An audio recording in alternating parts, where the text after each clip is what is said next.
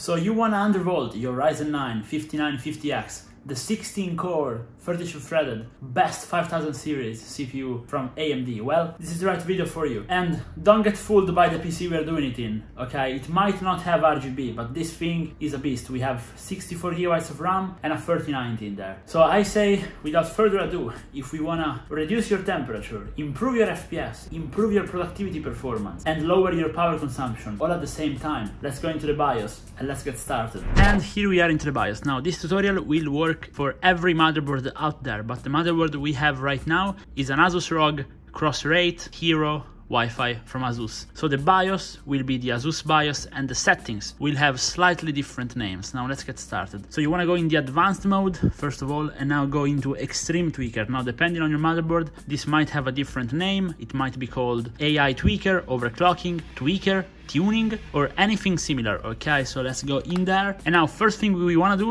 is enable our DOCP which is basically our XMP which is our RAM overclocking. So once we have done that we want to go down until we find something that's called CPU core ratio. And now we're gonna do two different profiles the static profile first and then the dynamic profile later on. If you stay until the end, I will also show you what every profile is aimed towards. So put 40 here, now go all the way down until you find CPU core voltage, put manual here and put 1.025.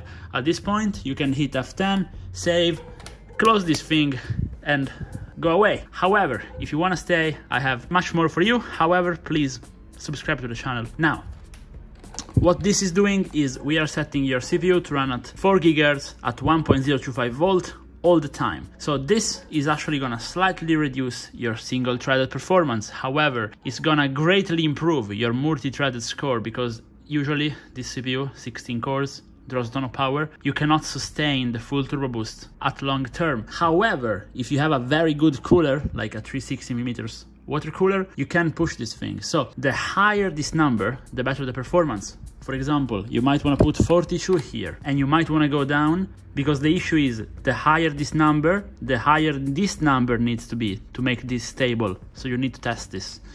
So for example, for 42, I know that 1.15 will be stable for most of you guys, but you can try this one out for yourself. Or if you feel a bit crazy and you have a really good cooler, put 44. And you will need 1.2 volts 444 okay? So this is it for the static voltage. You can basically tune it up and down depending on what performance you want. So this would be the more performance oriented preset whereas the 40 would be the more efficiency oriented setup right? Now in case you want to just keep the cpu to turbo boost like it does at stock going up and down up and down all the time no problem. We can do that. So we go here we put this one back on auto. No need to change it okay? And here on our vCore, again, put it back on auto and change it to offset mode.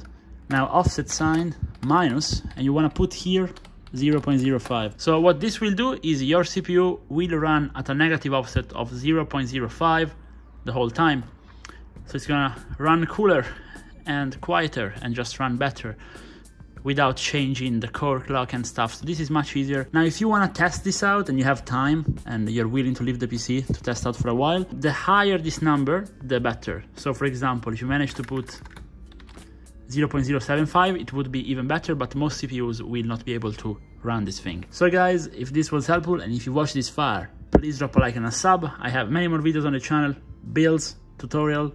You might like it. See you in the next one, guys. Bye.